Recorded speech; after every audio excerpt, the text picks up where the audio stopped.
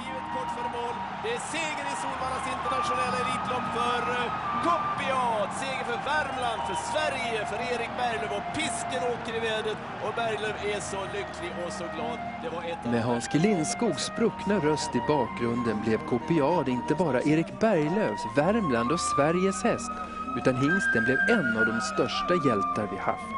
Och Berglöf lika förknippad med Värmland som Haik och Sven-Ingvars.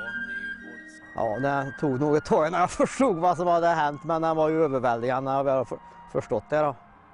Det var så mycket folk som stormade in på banan och hästen han höll sig lugn ändå. Det, ja, det, var, det var känsla, det kommer ju aldrig liksom kunna överträffa någonting. Det är ju det största i Sverige. Så det, och så mycket folk som det var där och sån stämning. Och så mycket värmlänningar som det kom och såg. Det var grejer.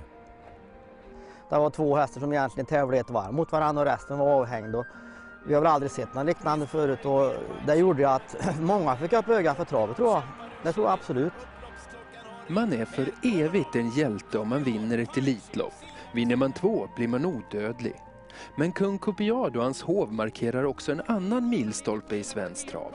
En kulen oktoberdag på Jägersro 1993 gick traditionstyngda V65 i graven och framtiden V75 föddes med ett fyraåringslopp. Men invändigt nummer 10, Kopiad vinner V75-premiären!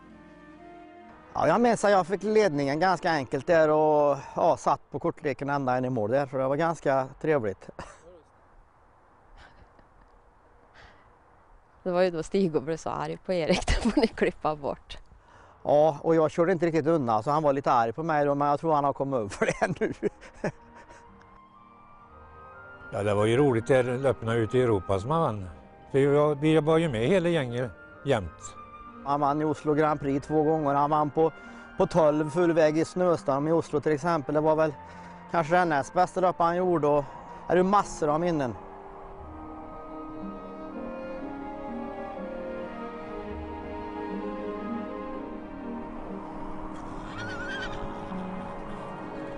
Den sagolike springaren stångades mot världseliten under tre hårda säsonger och slutet på sagan skrevs med en galopp i Hugo Åbergs Memorial 1996.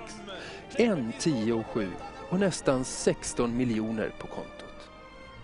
Vi gjorde ett par starter med en där eh, på slutet när han inte var bra helt enkelt. Han stannade och visade att han hade tjockblod då, för mycket röd blodkroppar och då bestämde vi ganska snabbt att det får räcka. Så han hade gjort så himla mycket bra så att varför fortsätta?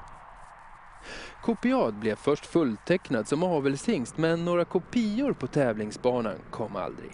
425 raka spår i stamboken med fyrfaldige miljonären Lukas Lupin som toppen i truppen. Hjältehästen blev av med sitt beteckningstillstånd och den gamle travkungen landsförvisades för att verka i tysk och ungersk avel. Han dög ju inte, tyckte jag. Med facit i hand så var det väl så, men han är ju inte sämre än många andra i avel tycker jag. Men... Var det rättvist? Nej, jag tycker nog inte det. För eh, var och en får, kan väl få bestämma vad man vill betäcka med och, så att det, det sållar ut sig själv då.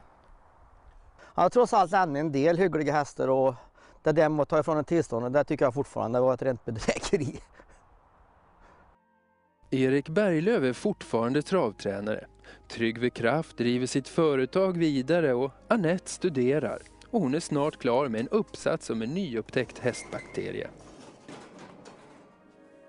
Idag, 16 år efter den första segern av alla och för alla på V75 och 15 år efter Elitloppsduellen mot Pineship så har den svenska hjälten fått återvända.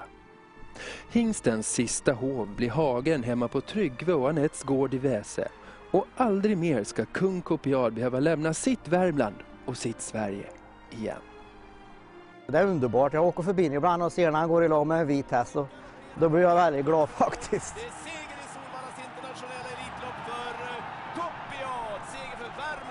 Sverige, för Erik Berglöf. Och pisken åker i vädret och Berglöf är så lycklig och så glad.